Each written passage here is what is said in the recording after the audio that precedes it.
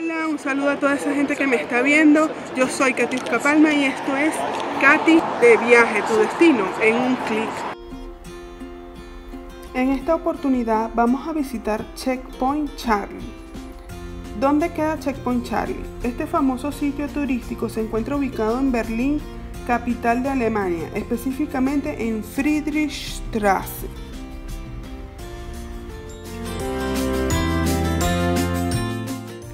¿Cómo llegar a Checkpoint Charlie? Para venir hasta Checkpoint Charlie debes comprar un boleto en las estaciones de U-Bahn y luego tomar el tren de la U6 dependiendo de donde te encuentres. Lo agarras en dirección Merindon o Altegel y te vas en la estación Kochstrasse Checkpoint Charlie.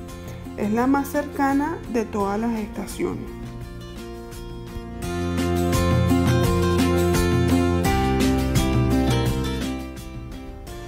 Otra de las alternativas para llegar a Checkpoint Charlie son los buses M29 y N6. De igual forma, te bajas en la estación Kochstrasse Checkpoint Charlie.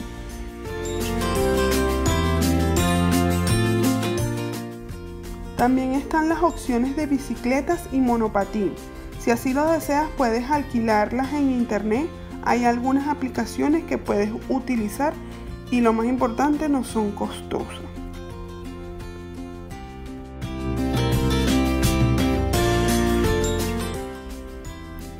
¿Qué significa Checkpoint Charlie? Debe su nombre a la tercera letra del alfabeto fonético de la OTAN, la letra C de Charlie y Checkpoint, punto de chequeo. ¿Qué ocurrió en Checkpoint Charlie?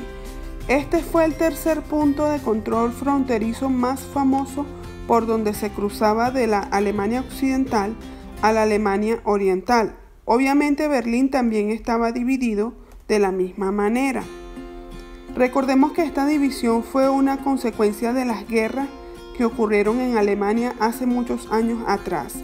Después del levantamiento del muro de Berlín, quedaron pocas fronteras por donde los ciudadanos pudieran movilizarse de un lado a otro, y el alcalde del Berlín Occidental, que estaba en esa época, consiguió un permiso con ciertas restricciones para que sus ciudadanos pudieran visitar la zona oriental con su pasaporte y una visa la cual era chequeada cada vez que entraban y salían por este puesto de control.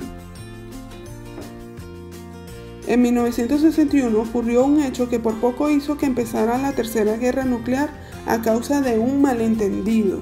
Se produjo un enfrentamiento de tanquetas de lado y lado, era que simplemente Alan Lichner, político americano, quería ir a la ópera que se realizaba en Alemania del Este.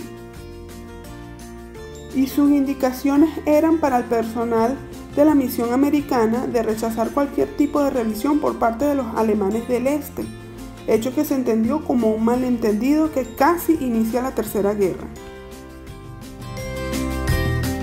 ¿Qué visitar en Checkpoint Charlie? La vitrina iluminada de los últimos soldados aliados es una exposición de Frank Thiel que tiene por un lado al soldado americano Jeff Harper y por el otro lado el soldado ruso de nombre desconocido. Otro espacio para visitar es la caseta. El punto de control fue destruido en 1990 sin dejar ningún rastro para recordar hasta el año 2000, cuando se inauguró la reconstrucción de una réplica exacta de lo que fue esta caseta de control, salvo que los sacos ya no están rellenos de arena, sino de cemento y actualmente funciona como una de las atracciones turísticas de Berlín. Otra parada obligatoria es el icónico letrero. Esta es una réplica exacta de lo que estaba en aquella época escrita en varios idiomas, entre ellos el inglés y el alemán, que por un lado dice, usted está viviendo en el sector americano y por el otro lado dice, usted está entrando al sector americano llevando armas de trabajo, prohibido obedecer normas de tráfico. En Checkpoint Charlie también te vas a encontrar con una galería de imágenes al aire libre que se llama el Berliner Mauer. Muestra un poco mediante imágenes y textos todo lo ocurrido durante esa época. La construcción del Temporary 360 Grade Panorama Installation ofrece una exposición fotográfica bien interesante sobre el muro de Berlín y tiene un costo aproximado de 10 euros. Esto lo puedes verificar en su página web en internet.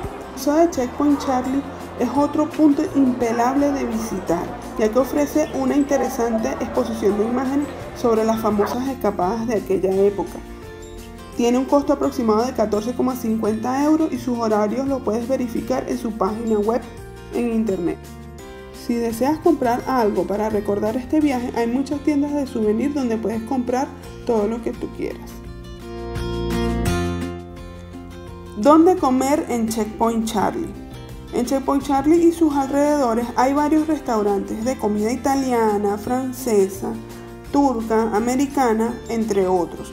Pero si tu opción es comerte un rico plato berlinés, el currywurst es tu mejor opción. Es una salchicha alemana acompañada de una salsa de curry y la puedes comer sola o acompañada con papas fritas o pan.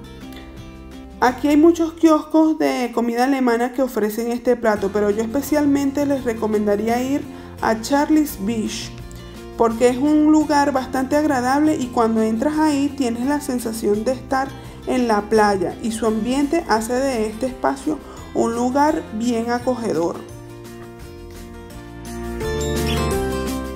Pero si tus preferencias gastronómicas se inclinan más por la comida rápida americana, no te olvides de pasar por KFC o por McDonald's, en el que te puedes deleitar con un rico helado y lo más importante, no son costosos y tienen enchufes para cargar tu móvil por si te quedaste sin batería. Ah, como este video fue grabado en tiempos de coronavirus, la nueva normalidad exige que al entrar haya un dispensador de antibacterial y en el piso marcas de distanciamiento social. Y las personas deben entrar con sus respectivos tapabocas. Llegó la hora del café Kuchen, eso quiere decir la hora de tomarse un cafecito y comerte un rico postre te recomiendo que entres al Einstein Café, una de las cafeterías más típicas de Berlín. Bueno mi gente, eso ha sido todo por hoy. Aquí ya está cayendo la noche en Berlín. Desde aquí, desde Checkpoint Charlie, me despido de ustedes. Espero que les haya gustado este video.